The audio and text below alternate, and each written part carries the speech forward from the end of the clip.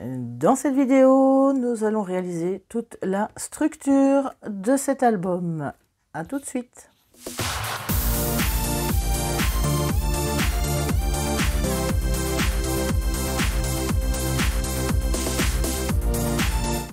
Bonjour à tous, je suis ravie de vous retrouver pour le premier tuto de cette série consacrée à cet album C'est la vie euh, que j'ai réalisé avec les papiers de la boutique In Love Art Shop. Pour tous les tutos, on va, je vais changer un petit peu d'univers. Maintenant, vous choisissez le papier que vous voulez. Mais pour les tutos euh, de cet album, je vais utiliser des papiers de chez Action. Euh, ce sont euh, ces blocs-ci, plutôt mer, vacances.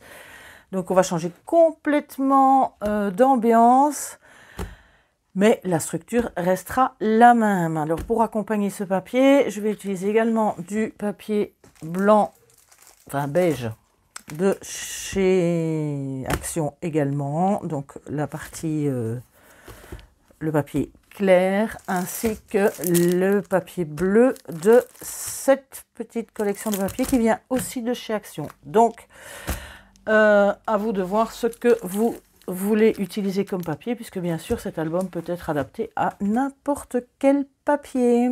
Alors c'est parti pour ce tuto de cette couverture. Alors pour la couverture de l'album, j'ai utilisé comme d'habitude de la cartonnette de 2 mm d'épaisseur.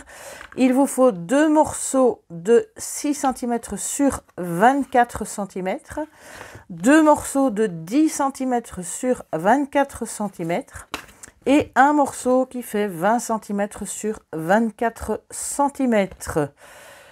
Ça, c'est pour la structure de l'album. Pour la fermeture, la bague de fermeture, là, j'ai utilisé euh, de la cartonnette beaucoup plus fine puisque c'est l'arrière des blocs euh, de papier de chez Action, donc les blocs dans lesquels il y a les feuilles blanches, craft et noires. Donc, j'ai utilisé simplement l'arrière de deux blocs pour faire ceci de façon à ce que ce soit quand même un peu moins épais. Donc pour ça, il vous faut deux morceaux de 7 cm sur 14 et deux morceaux de 14 cm sur 21 cm. Voilà. Alors commençons par la structure de l'album. Cette fois-ci, je vais utiliser du papier blanc pour les pages et pour euh, recouvrir l'album. Ici, j'ai des feuilles A3, mais si vous n'en avez pas, vous collez des feuilles A4 l'une à côté de l'autre. Alors, dans quel sens faut-il les mettre? Tout d'abord, un morceau de 10, de 10 sur 24. Euh, un deuxième morceau de 6 sur 24. Le grand morceau de 20. Et puis, on refait la même chose de l'autre côté. Un morceau de 6 sur 24 et un dernier morceau de 10 euh, sur 24. Vous collez le tout, vous recouvrez le tout comme pour chaque album. Et on se retrouve tout de suite pour la suite. Voilà, une fois recouvert des deux côtés, vous marquez bien les plis et vous laissez bien sécher avant de replier, sinon ça risque de faire gondoler le papier. Donc on va mettre ça de côté un petit instant et on va s'occuper de la petite euh, bague de fermeture. Donc pour la fermeture, la petite euh, bague, donc les morceaux de 14 cm sur 21, euh, vous, faites, vous allez faire la même chose. Donc recouvrir en alternant un grand morceau, un morceau de 7 sur 14, un morceau le, le grand et puis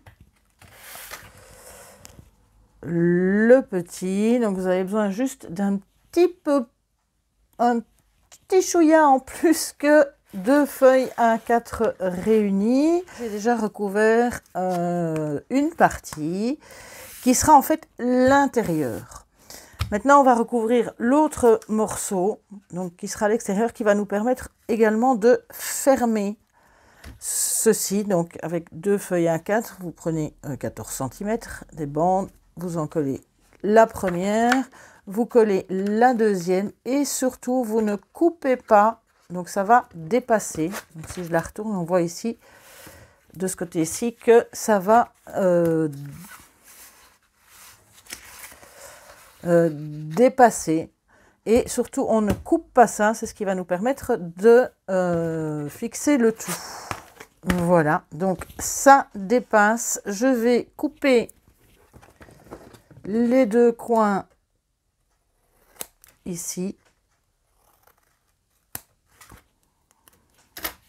Voilà, une fois que c'est ceci, donc on a recouvert ceci, on a laissé la petite pâte, on va le plier. Attendez vraiment que ce soit bien sec hein, pour éviter que ça ne gondole. Ensuite, eh bien, il nous reste à attacher ces deux-là ensemble, donc avec la petite pâte. Donc ça s'attache côté extérieur.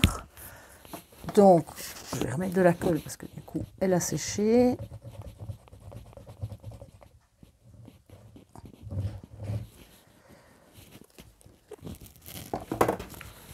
Donc, vous refermez.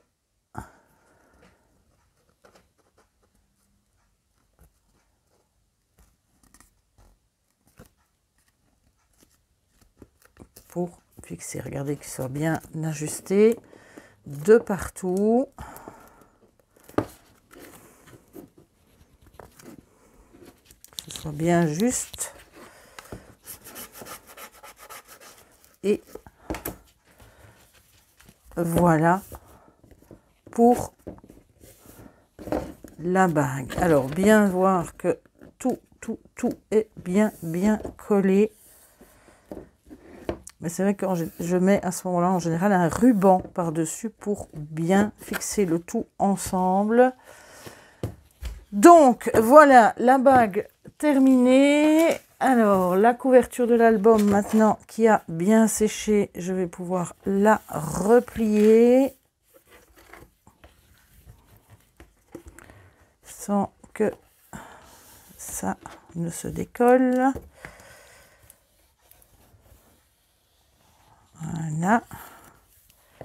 Et la dernière, on y est.